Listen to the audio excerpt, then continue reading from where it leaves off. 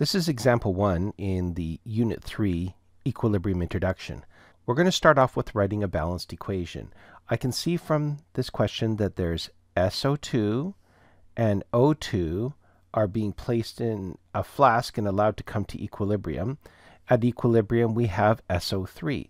That gives us our starting ground. SO2 gas plus O2 gas in equilibrium with SO3 gas. Now to start this off, we really need to make sure we've got this balanced, putting a 2 in front of the SO3. Now that means automatically I am going to need a 2 in front of the SO2 so that our sulfurs balance.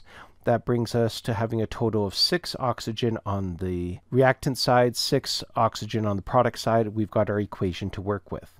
We're going to set up an ICE table just like we did in the introduction and write down our initial conditions.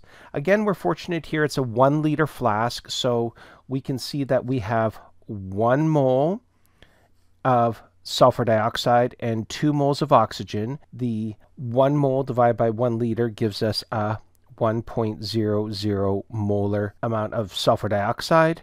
We've got a 2.00 molar of oxygen. Remember, that comes from the moles divided by the volume of the flask. We do not have any SO3 to begin with.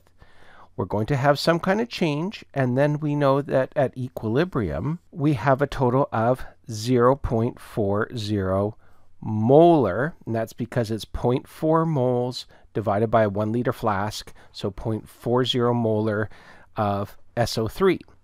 The in order for that to have happened, that is the amount of change that had to occur. So we went up by 0.40 molar of SO3. This reaction is a 2 to 1 to 2 ratio. The only way for the SO3 to have been made is for the SO2 and the oxygen to have reacted. That means both of those have to go down.